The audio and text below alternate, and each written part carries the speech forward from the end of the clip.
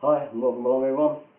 As you can see behind me, I started doing the kitchen, start modernising it. I took the tiles off the walls, hacked them off and uh, realised that there was a video there for you because uh, things like this plug where the tiles went behind and was screwed through, I had to remove it and get the tiles out and put it back without and I kind of realised there's a video there so I've decided to do one for you. It's how I remove tiles, uh, what tools I use and how to do with the plug sockets and light switches when you've got tiles behind you, you've got to put them back. So I've got another wall to do, so I'll chop you over to that wall now. So as you can see there's one that I've already done. I've hacked the tiles off you can see and uh, took the front off there virtually right off and got the tile out underneath and screwed it back in. So I've done that wall so we're going to now move around. This is the wall I'm about to take the tiles off from uh, and as you can see there's a light switch there which the tiles are going underneath. And also there's a surface mounting plug here. Uh, again you know it, the tiles are behind here so we've got to take that off uh, and safely do it. So alright before we do any of that obviously power off guys. Power off first before we touch any plugs okay? That's a must. Um, another little thing I like to do if there's any mastic or sealant down here or indeed any up at the cupboard end at the top um, get it cut through with a Stanley knife I use a Stanley knife like this and just just kind of chop it through right through like that uh, just so that when the tiles do come away they'll come away cleanly. Right once you are satisfied the power is off. We'll just undo the screws at the front here. This is a surface mount one. This one's got to come the front of this one's got to come right off because the screws for this plug are screwed through the back plate and they go into the tile so we've got to kind of loosen those off so we can get our tile removed. So we've got to take the front right off. And as I say make sure power is right off guys. Or if you've got a circuit breaker for the ring main and you know what it is make sure that that is off alright there's that one. Same with the top one here now get the light switch. Now this one you can just leave loose if the tiles come away okay if not, take it right away. Again, so make sure power's off. Okay, take it away.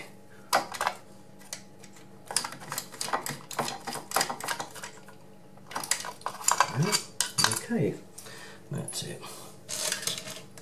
Okay, make sure you've got the right screws, long ones for that light switch, short ones for the little plug. Put safely away. We now know that uh, our tiles behind there, we can knock these off. So before then, we're going to undo this one. Now this one has obviously some screws down there. There's one down the bottom there and there's one at the top. So we're going to undo those next. Get these off.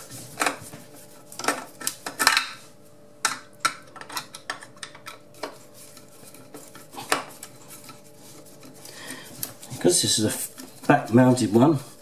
Will be a plate. It's got to come right off. If it's a flush mount one um, like on the other side I should have filmed you that one before I took it off but I just all of it. Um, obviously like the switch. You don't you take it right out if you don't want to.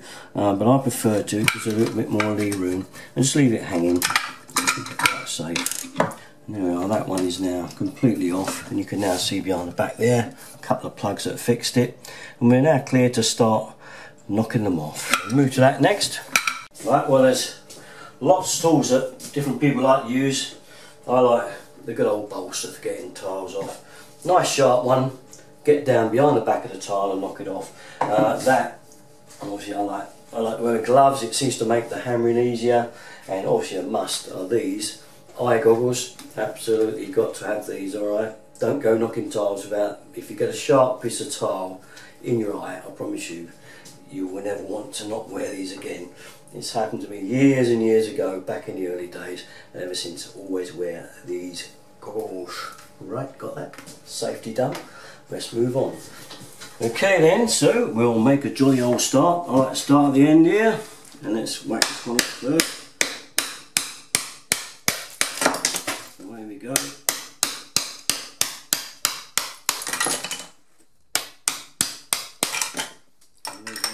back. we're going for the one behind the back of this plug now.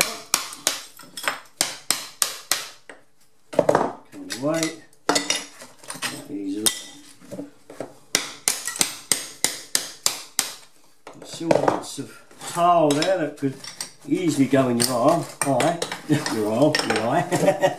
so do wear goggles. Can see this one's been tiled up down the cupboard, which has been a bit of a nightmare. There you go, that's always a way.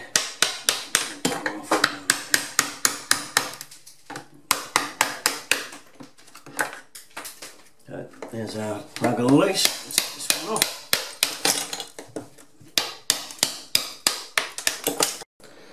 There they are, all off. What a lovely mess it always leaves, isn't it? Terrible job. Hate taking off tiles. Got to be done.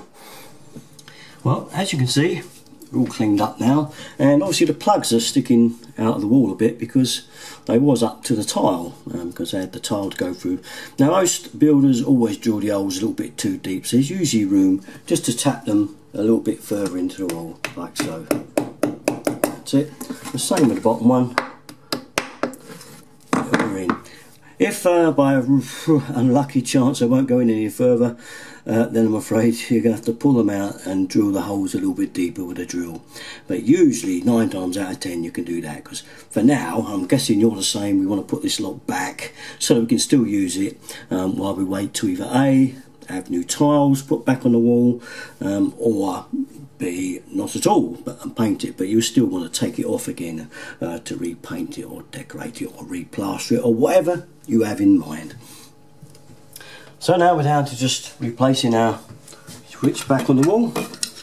Line the screws up with the holes. See them through there. Get them started. And hold one in place that end. Right then we'll line up the front plates. Get those in. Again best to kind of get them started before going too far and screw them in. Case not like this little screwdriver sits in the slots nicely.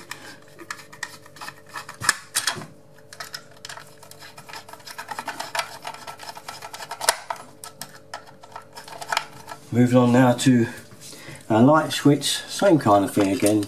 Line the holes up. You'll see them by the way in there. You can see the little screw slots that have got to go in line them up and get them started. One last thing with the light switch screws, um, now that it's going back further to the wall, you may find these might be a tad long. So you may need to get shorter ones if the switch doesn't go right back to the wall. Okay, if you're putting tiles back it doesn't matter. Leave the gap because it doesn't matter to be the right distance. But if you're not putting tiles back there is a possibility these may be too long in which case you'll need short ones unless you're pretty dexterous with a junior hacksaw and want to cut a bit off the ends. But I know that these ones are going to be alright okay so we're started now we'll tighten them up.